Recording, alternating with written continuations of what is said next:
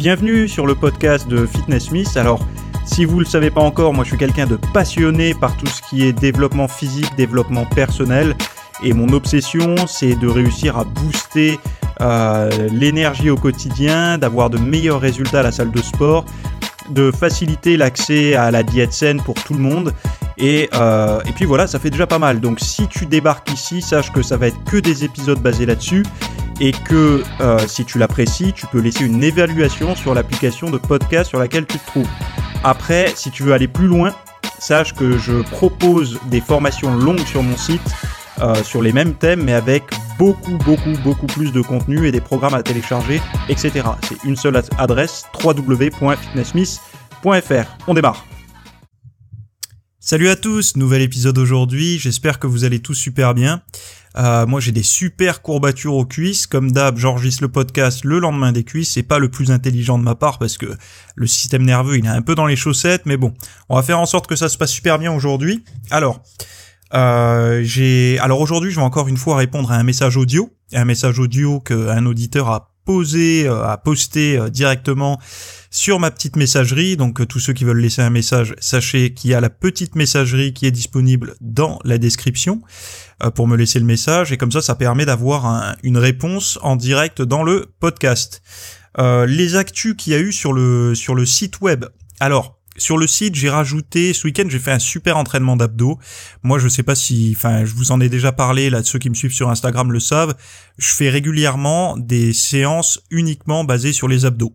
Pourquoi? Parce que euh, j'ai pas une génétique à avoir des abdos super apparents et si je me contente de faire les deux trois exos en fin de séance, moi ça ça fonctionne pas sur moi. J'ai déjà essayé, euh, j'ai fait ça longtemps et finalement au lieu de m'acharner à faire un truc qui fonctionnait pas, j'ai décidé de faire quelque chose d'autre et puis de voir si ça fonctionnait. Et ce qui fonctionne pour moi, c'est de les entraîner à la fois régulièrement toute la semaine et à la fois euh, périodiquement faire des grosses séances pour les abdos, donc 45 minutes que d'abdos avec plein d'exercices suivis d'un peu de cardio.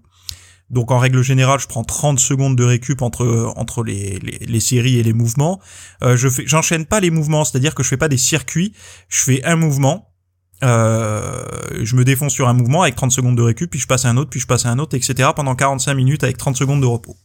Voilà, donc là je fais du lesté, du poids de corps, je fais pour le bas des abdos, pour le, le, haut des abdos entre guillemets, pour les obliques, et du gainage. En, en général, quand je fais ça, je fais du gainage dynamique. Voilà. Donc pourquoi je vous dis ça? Parce que euh, j'avais pris ma caméra avec moi et j'ai filmé les exercices que j'ai faits et euh, ça m'a permis de fournir un petit peu plus la bibliothèque d'exercices que j'ai sur le site pour les abdos. Donc si vous avez euh, toujours des doutes ou vous savez pas quoi faire ou faites toujours la même chose pour les abdos, euh, allez sur le site, rubrique espace VIP, bibliothèque d'exercices, vous vous connectez si vous êtes membre et vous avez accès à tous les exercices que je fais pour les abdos. Mais après vous avez aussi le, reste, hein, pec, dos, triceps, enfin bon voilà, j'ai fait en sorte de faire ça parce qu'il y a tellement de salles de sport où euh, finalement moi je me rends compte où les coachs ne sont pas des coachs mais des commerciaux. Donc du coup ils vous montrent pas forcément les mouvements ou ils vous les montrent mal. Et euh, je voulais faire ça pour euh, fournir une petite aide à tous les membres de manière à ce que quand ils sont en salle ils savent pas trop comment faire leurs leur mouvements eh ben ils ont une vidéo qui montre euh, le, mouvement. Alors ça remplacera jamais un coach personnel qui est avec vous, mais au moins ça vous donne une indication. Et puis en plus, enfin voilà, moi c'est les exercices que j'ai choisis qui me qui fonctionnent et que je fais régulièrement. Voilà. Donc ça c'était pour vous dire que j'avais ajouté six mouvements d'abdos pour euh, ceux qui ne savaient pas et euh, vous pouvez aller voir ça. Deuxième petite actu, j'ai fait pour la première fois de ma vie un live un live sur Facebook. Alors pour tous ceux qui sont dans le groupe, Fitness Miss, ils ont vu que j'avais fait le live, ça a super bien fonctionné, c'était un essai pour tester l'image et le son, et puis j'en ai profité, je me suis dit bon ben écoute si ça fonctionne, euh, tu les laisses poser des questions et puis tu leur réponds. Et c'est ce que j'ai fait, ça a été euh, très bien accueilli et je suis content parce que moi ça m'a beaucoup plu, euh, c'était super intéressant de faire ça. Et donc, bah, je l'ai laissé tourner en rediffusion sur le groupe. Il y est si vous, pouvez, vous voulez aller le voir. Je crois qu'il fait une 35 minutes, quelque chose comme ça. Et donc voilà, et je vais en faire plus régulièrement, et puis je, vous préviendrai, comme ça au moins on, se fera des trucs sympas. Euh, ce week-end, encore une autre actu, j'ai sorti la fameuse vidéo qui euh, qui qui qui parlait de euh, la prise de graisse. Comment, pourquoi on prend du gras? Euh, Pourquoi on prend du gras? Pourquoi toi tu prends du gras? Pourquoi moi je prends du gras? Quel est le mécanisme exact? Parce qu'en fait, on entend toujours des choses qui disent euh, c'est en fonction de la génétique. Il y en a qui prennent plus, il y en a qui prennent moins, etc. Il y en a qui peuvent calmer les glucides, ça se passe bien. Il y en a qui calment les glucides, ça se passe mal etc., etc. Il y en a qui, qui disent qu'il faut réduire que les calories. Moi, je suis pas du tout d'accord avec ça. En fait, finalement, je me rends compte que plus j'avance, plus je me rends compte que cette cette euh, histoire euh, de la balance calorique, c'est c'est c'est pas une foutaise. Ça fonctionne pour une catégorie de personnes.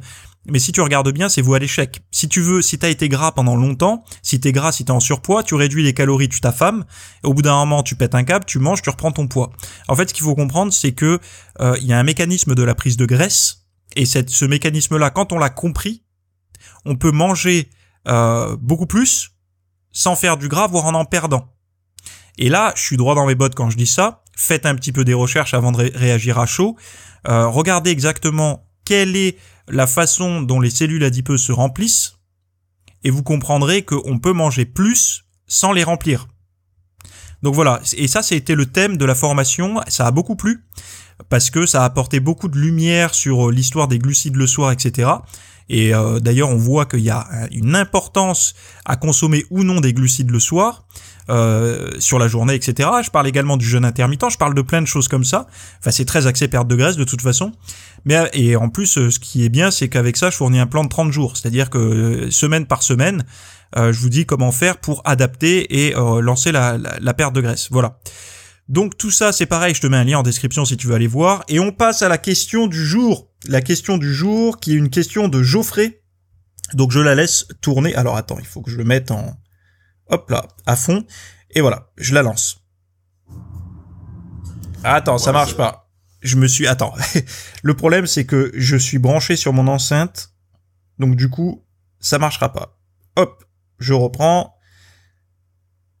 Je reprends du début. Allez, c'est parti pour la question salut Théo, c'est Geoffrey. Bah écoute, euh, j'ai pas trouvé euh, de mémo à envoyer euh, directement par ton lien sous la description. Donc je te pose bah, une question avec un, mémo de mon iPhone.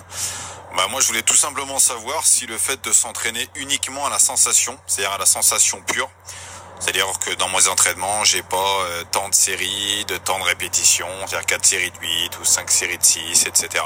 Je m'entraîne uniquement à la sensation jusqu'à temps que jusqu'à temps que j'en puisse plus, c'est-à-dire que je me défonce à chaque série jusqu'à temps que euh, que je sois au bout, sachant que bah, sur les exos polyarticulaires, je suis plutôt sur des séries relativement courtes. Donc je me répète, hein, je les compte pas. Et après sur les exos d'isolation, je suis plutôt sur des sur des longues séries. Donc voilà, est-ce que je risque de moins progresser par rapport à quelqu'un qui est plus rigoureux, qui va tout noter, tous ses exos, les séries, etc. Voilà. Merci à toi. Bon bah déjà, euh, salut euh, Joff. Alors, pour te répondre, déjà, première chose, c'est que euh, t'as vu le physique que t'as?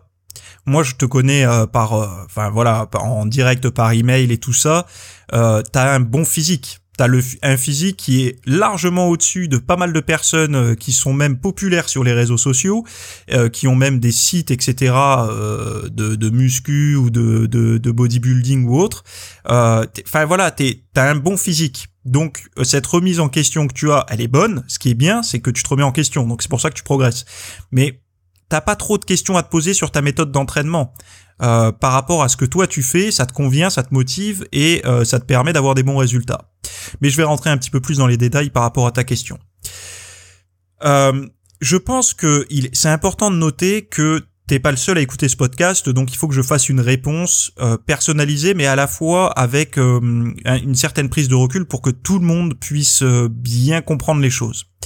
Toi, si aujourd'hui tu peux t'entraîner à la sensation, c'est que tu es capable de connaître ton ta zone d'intensité maximale, c'est-à-dire que tu es capable de savoir quand tu te mens pas en fait, quand tu es vraiment à fond il y a pas mal de personnes qui s'entraînaient à la sensation. Eux, leurs sensations, c'est pas ce sont pas les mêmes que les tiennes. C'est-à-dire que elles ont une sensation de s'entraîner intensément, alors que réellement, c'est pas le cas. Pourquoi? Parce qu'elles n'ont pas été assez haut dans l'intensité. Donc du coup, pour pour elles, ces personnes-là, c'est un c'est un, un territoire un peu sauvage, un petit peu inconnu. Alors que toi, t'es déjà allé dans ces zones un petit peu euh, violentes, un petit peu hard en intensité. Donc tu sais que c'est plus ou moins ça que tu recherches à l'entraînement. Donc déjà, tu vois, la perception de ton intensité n'est pas la même que les autres, et euh, c'est pour ça que toi, tu arrives à progresser avec ça parce que tu arrives à aller très haut dans l'intensité. Euh, D'autres personnes n'y arriveront pas. Et d'autres personnes ont besoin de structurer pour progresser. C'est-à-dire que il y a, y a, pas mal de personnes qui, quand elles s'entraînent au, je vais, je vais te dire clairement au hasard. Alors cette forme de hasard qui est pas un hasard pour toi, mais pour elles, c'est une, une façon de s'entraîner au hasard. Elles y arrivent pas. Elles, elles se font pas confiance en fait ces personnes-là. Elles ont besoin de mettre sur papier euh, les charges, le temps de repos, le machin, le truc. Elles ont besoin de tout noter parce qu'elles ne font pas confiance en, à la perception qu'elles ont de leur séance.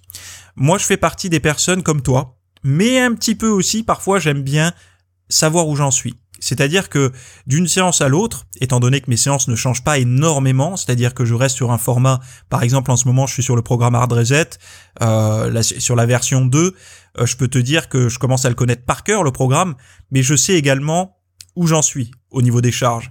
Et j'arrive à voir si la séance d'avant, tu vois, j'ai fait 4 reps avec ce poids-là, est-ce que je peux en faire un peu plus? Là, j'en fais 5. Mais tu vois, c'est j'arrive à, à, savoir et à me sans me mentir, savoir si je suis mieux ou moins bien. Également, moi, ce que j'ai remarqué, c'est que euh, si je laisse pas assez de temps de repos, c'est-à-dire que je vais faire les pectoraux très lourds, par exemple, le mardi. Euh, je vais, je vais, je vais avoir des grosses courbatures. En général, je les tiens pendant trois jours et euh, je veux les réentraîner par exemple le dimanche parce que moi tu sais euh, tu sais comment je m'entraîne. Moi j'ai pas réellement tu vois je prends pas du off le week-end etc c'est je je, je m'entraîne un peu voilà. Les jours de repos sont dictés par la forme que j'ai. Et donc euh, si je les réentraîne le dimanche parfois ça va être trop tôt par rapport à ma récupération et je le sens. En fait toutes mes charges me paraissent plus lourdes et je ne progresse pas c'est-à-dire que je progresse pas en poids, je fais pas plus de reps, etc. Donc tu vois, c'est des petits trucs comme ça que moi j'ai découvert pour pouvoir euh, être productif et pro et progresser avec cette formation, ah, cette formation, cette euh, oui, enfin, en fait, je dis cette formation parce que ça veut dire c'est entraînement en anglais, cet entraînement à l'instinct. Et euh, bien sûr que tu peux progresser. Et de toute façon, euh, le, la sensation, comme tu dis, c'est hyper important. C'est-à-dire que si tu t'entraînes avec une forme d'exécution de, de, mouvement euh, hyper stricte, etc., que tu pousses lourd, mais que tu sens rien, en fait que tu sens l'effort mais que tu le sens pas réellement sur le muscle que tu souhaites entraîner dans, dans, la, dans ta séance, par exemple les pecs, si tu fais, tu, tu fais les pecs, pour moi c'est moins productif qu'une séance où tu vas concrètement ressentir tes pecs bossés à 100%. Après, ça c'est quelque chose qu'il faut comprendre. Tu vois, les débutants ne ressentent pas, par exemple, le dos ou les pecs euh, travailler. Euh, ils ont besoin de faire pas mal de séances pour commencer à ressentir euh, le, dos bosser, etc. Mais à partir du moment où on sent, il faut essayer de conserver cette sensation, mais pas en travaillant léger ou en série longue, de conserver cette sensation en s'entraînant au maximum au maximum de, de, de, sa force, etc. Bon, je le rappelle, on est on est des pratiquants naturels, c'est pas euh, en travaillant avec, euh, enfin bon voilà, que je veux pas rentrer dans ce débat-là, mais on a quand même besoin de taper extrêmement fort pour que ça puisse se développer, et donc du coup, euh, il faut à la fois avoir une super sensation musculaire, mais à la fois avoir une intensité de d'entraînement relativement élevée. Donc je, je comprends que tu te poses des questions, parce que euh, c'est vrai qu'il y a beaucoup de cartésiens qui recommandent de euh, progresser, etc., d'avoir de tout chiffrer en fait. Mais euh, la réalité, c'est que toi, tu veux être mieux physiquement que ce que tu n'es aujourd'hui, et la seule valeur fiable pour ça, c'est ce que tu vois dans le miroir. et pour moi, enfin voilà, c'est pour être bien dans le miroir, faut persévérer, faut durer, et pour durer, faut faire quelque chose qui te plaît. Et euh, si c'est ce que tu fais aujourd'hui qui te plaît, et en plus qui est une bonne solution, qui est une bonne option, puisqu'elle t'a fait progresser jusqu'à aujourd'hui, je vois pas en quoi ça peut changer. Après, là où tu peux progresser, c'est par exemple, euh, bah, tu sens, tu t'arrives bien à ressentir tes muscles, mais parfois des petites zones musculaires qui répondent moins bien. Par exemple, le milieu du dos par rapport euh, à la portion, enfin au, au dorsaux donc euh, plutôt les trapèzes moyens où tu as du, du, mal à les ressentir, donc tu vas plutôt t'attarder là-dessus. Ou alors euh, ça va être plutôt le haut des pecs, que tu, tu sens bien tes pecs, mais moins bien le haut des pecs. Donc tu vas te concentrer un petit peu là-dessus. Et c'est comme ça après qu'on progresse, c'est quand on arrive à... à tu sais, c'est un petit peu comme euh, toutes les personnes qui ont joué à... Comment ça s'appelait ce jeu? Merde. Age of Empire, tu sais, où tu, tu, à force d'explorer, tu, tu découvrais la carte qui était cachée. Et ben là, c'est un petit peu la même chose. À force de d'explorer à l'entraînement, tu découvres des zones musculaires que tu ne ressentais pas avant. Et c'est, c'est vraiment comme ça, moi, que je vois l'entraînement également. Euh, avec toujours, pareil, il faut des fondamentaux. Et les fondamentaux, tu les as. Tu me l'as dit, moi c'est pareil, je fonctionne pareil, du polyarticulaire et de l'isolation dans la même séance, de manière à, à profiter du lourd et de l'intense et du, euh, du basique, on va dire, et avec en plus du plus léger, du plus concentré, du plus à la sensation. Alors quand je dis léger, ça reste du lourd, même en, isolation pour beaucoup de personnes, mais quand je dis léger, ça veut dire que tu arrives à enchaîner 10 euh, voire plus de reps, quoi. Donc voilà, je sais pas si je t'aurais bien répondu euh, à cette question. En tout cas, une chose est sûre, c'est que euh, euh, ne doute pas trop par rapport à ta séance à partir du moment où la structure initiale est bonne. Tu me dirais, euh, je fais du full body en très léger, je travaille qu'à la sensation. Je te dirais, bon là, écoute, je pense que tu, tu vas fondre quoi. Tu vois, c'est à un moment donné, tu, ton muscle, il aura pas assez de contraintes mécaniques. Tu vas perdre en force, tu vas perdre en, en masse musculaire, tu vas perdre en qualité musculaire, etc. Voilà, voilà, je, pense que je t'aurais bien répondu. Euh... Ouais, bah alors je rappelle que toutes les personnes qui sont intéressées par ce genre de conseils, alors euh, il m'a posé une question ici, mais il est également membre VIP sur le site. C'est pour ça qu'il connaît les programmes que je propose. Donc allez voir dans la description tous les programmes que je propose. Et puis, euh, et puis voilà quoi. Alors sur le live, pour vous rappeler, j'avais parlé un petit peu aussi, je vais traîner un petit peu, encore peut-être cinq petites minutes avec vous, euh, des, des, de l'alimentation. J'avais parlé en fait suite à une vidéo que j'avais vue sur le, la chaîne de Fitness Mag de Mousse Elbakuchi, je crois que ça se prononce comme ça, euh, qui montrait un petit peu ce qu'il recevait euh, quand il avait quand il est allé faire un petit périple à à Los Angeles, donc il était en déplacement et il avait utilisé un service de livraison de repas fitness euh, euh, à domicile. Et euh, ben moi je trouvais ça un petit peu cher, bien que quand tu es en déplacement, forcément c'est une contrainte en moins, et lui il est en prépa, etc. Donc voilà. Mais je trouvais le concept intéressant, dans le sens où voilà, là ce qu'on voyait, il avait quand même des bons repas. Après, est-ce que c'est organique ou bio, enfin biologique, j'en sais rien. Mais en tout cas, une chose est sûre, c'est que je trouvais ça pas mal. Et j'ai regardé un petit peu en France, il y a rien. En fait, j'ai rien trouvé qui corresponde à mes attentes. Alors moi, je suis hyper exigeant. Hein.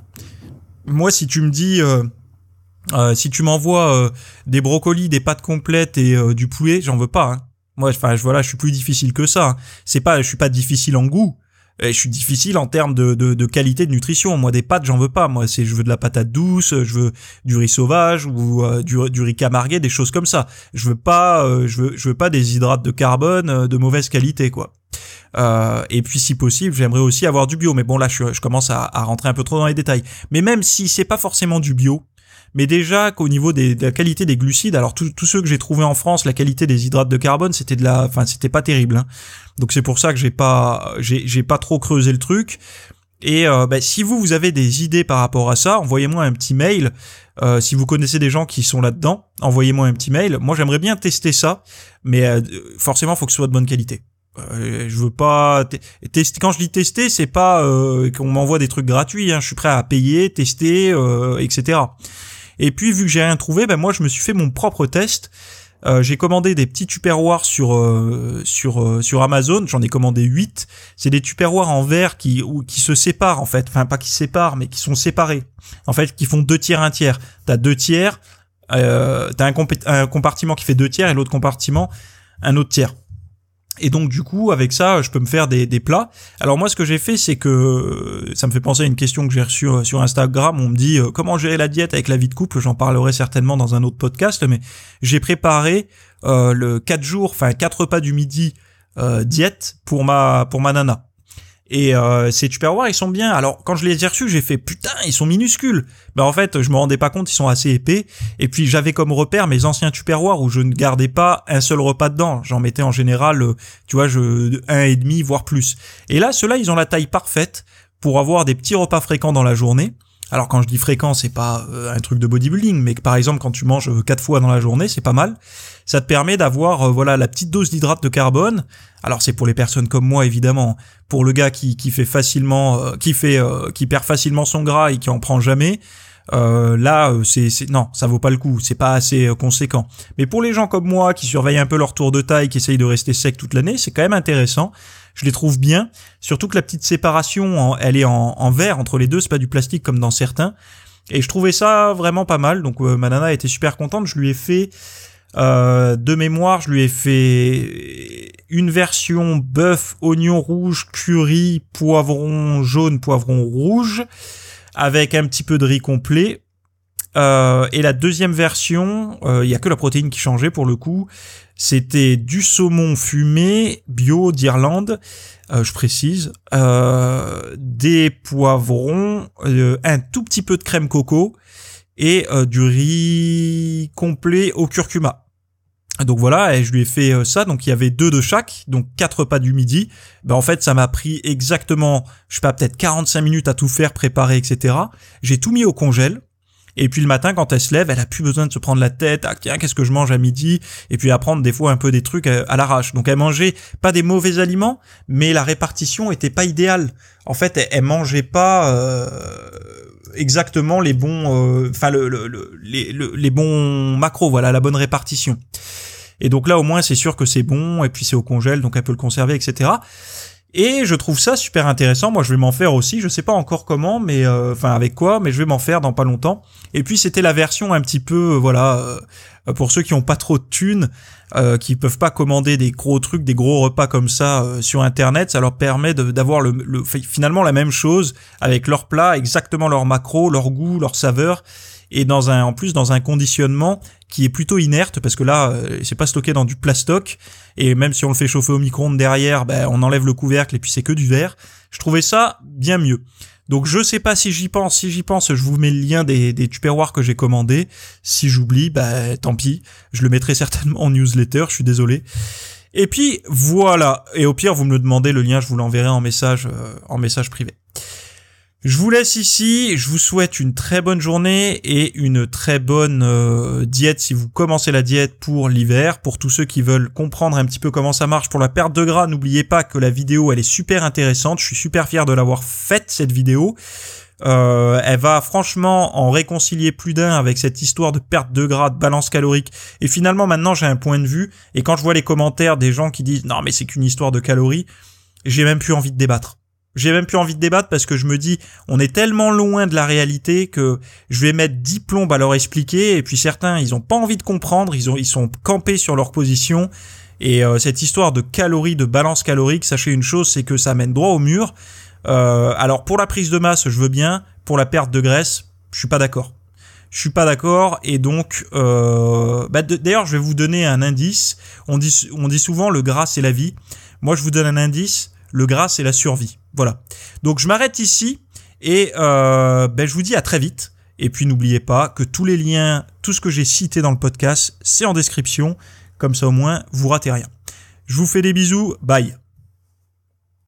Merci d'avoir écouté le podcast jusqu'à la fin. Donc euh, je, je, vous rappelle juste que le podcast Fitness Miss est 100% gratuit, que vous pouvez, le retrouver sur toutes les plateformes d'écoute de podcast, euh, Apple Podcast, iTunes, euh, Android Podcast, SoundCloud, etc., etc., etc. N'hésitez pas à mettre un avis sur la plateforme que vous préférez directement pour m'aider un petit peu à remonter dans les résultats.